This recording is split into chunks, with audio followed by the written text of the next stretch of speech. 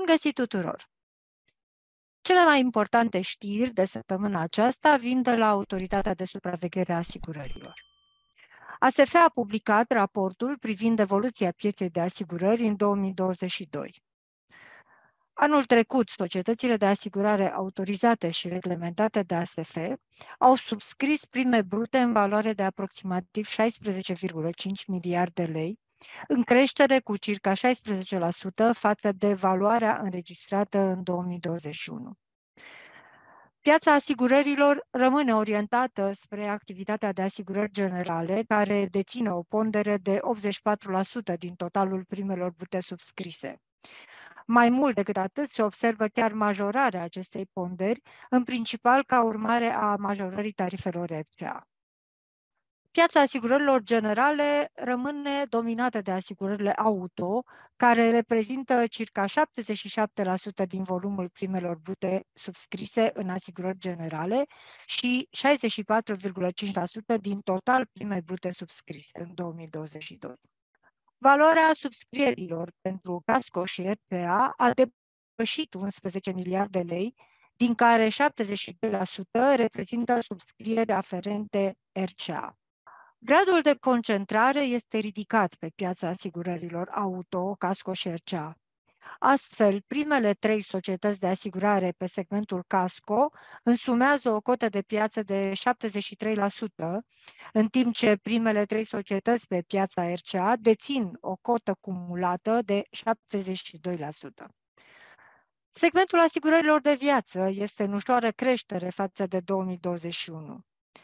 Dinamica pozitivă se datorează în principal creșterii cu 35% a clasei asigurărilor de sănătate. Se registrează însă o scădere a valorii subscrierilor pentru clasa C3, asigurări de viață și anuități, legate de fonduri de investiții, un minus de 16%. Să vedem cum a evoluat distribuția asigurărilor. În 2022, valoarea primelor distribuite de brokeri a fost de peste 12 miliarde lei, în creștere cu aproximativ 26% față de 2021. Circa 78% din asigurările generale și 14% din asigurările de viață s-au distribuit prin brokeri. Pentru rezultate detaliate ale pieței, vă invităm pe unoasic.ro. Să vedem acum clasamentele asigurătorilor și ce schimbări s-au produs la final de 2022. Trebuie să precizăm că aproximativ 92% din volumul total de prime brute subscrise a fost realizat de 10 companii din cele 26 autorizate și reglementate de ASF. Primul loc în piață a fost preluat în 2022 de Grupama Asigurări, cu o cotă de piață de 18%. În 2021, Grupama a ocupat poziția 5 în clasament. Pe locul 2 rămâne Alianz Siria cu o cotă de piață de 17,44%, urmată de Omniasic și Asirom. NN își păstrează locul 6 în clasament. În ceea ce privește piața de brokeraj, Safety Broker își menține poziția de lider, urmat de Destine, Interbroker și Marș România.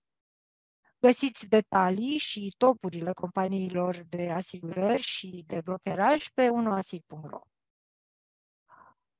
După cum știți, ASF a retras autorizația de funcționare a companiei Euroins, care ocupa în 2022 locul 3 în topul general al asigurătorilor. O știre recentă, Curtea de apel a respins cererea Euroins de suspendare a deciziei de retragere a autorizației de funcționare. Fondul de garantare a asiguraților a primit până pe 1 mai peste 61.000 de cereri de plată de la clienții și păgubiții Euroins România. De asemenea, în aceeași perioadă, FGA a recepționat peste 10.000 de cereri pentru deschiderea dosarelor de daună din partea asiguraților Euroins.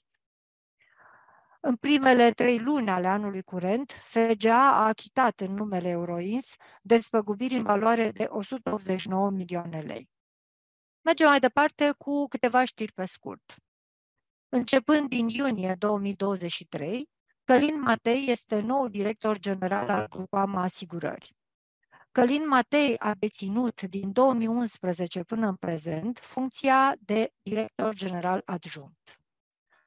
François Cost va rămâne în continuare membru în Consiliul de Administrație al Grupama și va prelua un nou rol în cadrul grupului Grupama. Despre activitatea companiilor de asigurări aflăm de la un SAR că proprietarii de locuințe au primit din partea companiilor membre în perioada 2013-2022 despăgubiri de aproape 25 milioane euro ca urmare a producerii de inundații și alunecări de teren. O nouă campanie de comunicare marca Asirom. E simplu când ești asigurat. Campania are ca obiectiv principal informarea și educarea publicului cu privire la importanța asigurărilor. Ca noutăți, avem câteva date transmise de Inspectoratul General pentru Situații de Urgență la solicitarea unuasig.ro. În 2022, uh, inundațiile au fost în scădere, dar s-a înregistrat cel mai mare număr de clădiri afectate de incendii din ultimii 9 ani. Mai multe știri găsiți pe unuasig.ro. Vă invităm să le citiți. Uh, săptămâna aceasta, la ora de risc de la RFI, Sergiu Costache l-a avut ca invitat pe Ciprian Bujor, Chief Strategy Officer Telios Care. Tema emisiunii, cum aduc medic un sat. În zona medicală, una dintre marile provocări ale României este lipsa personalului medical în zonele rurale, iar una dintre consecințele benefice ale pandemiei este dezvoltarea telemedicinei, un concept bazat pe nevoia reală a pacienților cu afecțiuni ușoare de a fi consultați rapid, comod și de la distanță. Dacă nu ați ascultat emisiunea în direct pe RFI, vă invităm pe canalul nostru de YouTube. Puteți viziona întreaga colecție de emisiuni, Ora de Risc și Zodia Asigurărilor, precum și multe alte emisiuni realizate de noi. Dacă nu sunteți încă abonați ai canalului Exprim, vă invităm la subscribe. Vă mulțumim că sunteți aproape și vă așteptăm săptămâna viitoare cu știri proaspete din asigurări.